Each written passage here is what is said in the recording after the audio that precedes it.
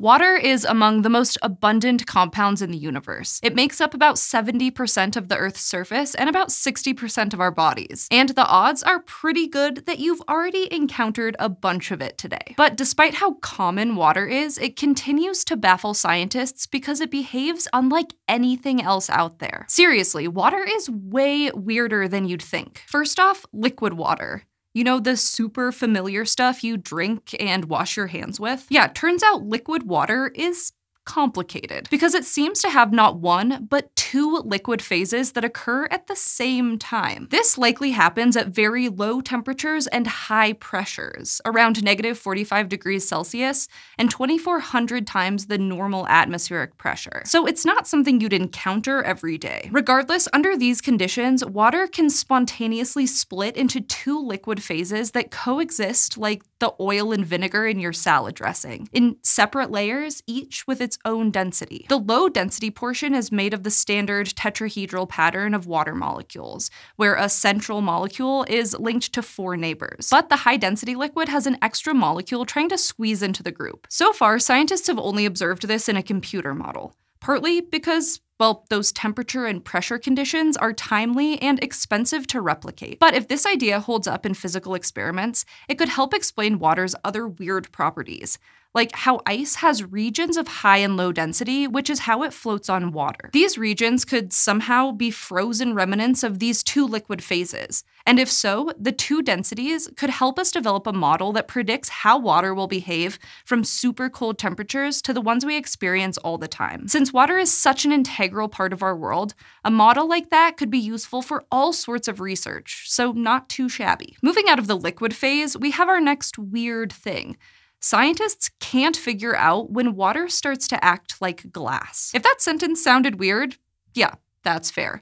Because the glass phase is a weird one. It's a sub-state between solid and liquid where water can exist, well, like glass. In short timescales, it looks like a solid, but in reality, it's very slowly relaxing into a liquid state. Water isn't the only substance with a glass phase, but how it gets there seems to be unique. Typically, as other substances are heated, they experience a gradual increase in heat capacity, which is the amount of heat needed to raise their temperature 1 degree Celsius. Their heat capacity continues to rise until it reaches the glass transition temperature, where it suddenly jumps 100% higher at which point it's officially in the glass phase. But as water is heated, its heat capacity barely changes until all of a sudden it crystallizes and becomes a solid. This has made it difficult for scientists to pin down a glass transition temperature. Right now, they think it happens somewhere around negative 123 to negative 53 degrees Celsius. But it's been so hard to figure out anything more specific that they've dubbed this window no man's land. At this point, it's not totally clear what's going on.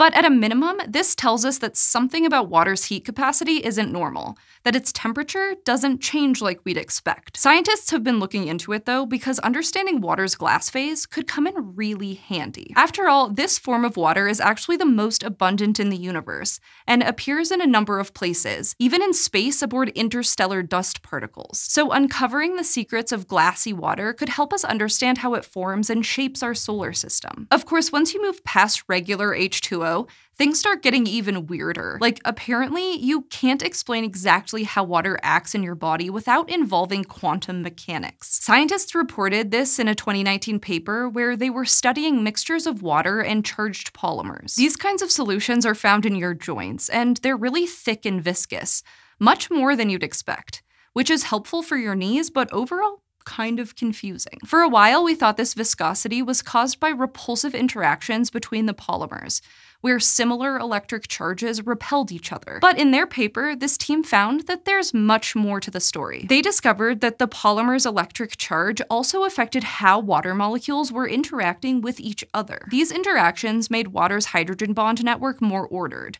and that made it hard for molecules to move and hindered the flow of the solution, therefore making it more viscous. That by itself was a cool result because it showed that you can't treat water as a neutral background for chemistry like we sometimes tend to do. It's an active molecule you need to pay attention to. But what's stranger is what the team found next. In their study, they also looked at solutions of charged polymers and heavy water. That's water made from oxygen and deuterium, a form of hydrogen with twice the usual mass. This solution behaved a lot differently than the one with normal water. The molecules interacted in different ways and the viscosity was different. In fact, these changes were so significant, they couldn't actually be explained with traditional chemistry models. Instead, the team concluded that you need to consider quantum mechanics to fully understand them. It's hard to say exactly how the quantum world comes into play here.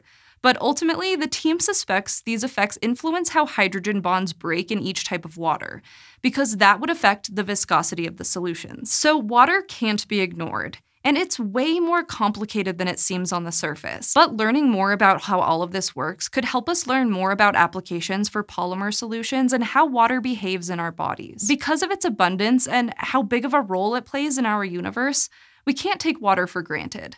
But it's really strange stuff, and understanding why can help us advance lots of scientific fields. So the next time you take a swig of water or see a rain cloud, know that you're looking at something truly extraordinary. Speaking of extraordinary, let me tell you about our patrons on Patreon. We say it a lot around here, but we really can't thank our patrons enough.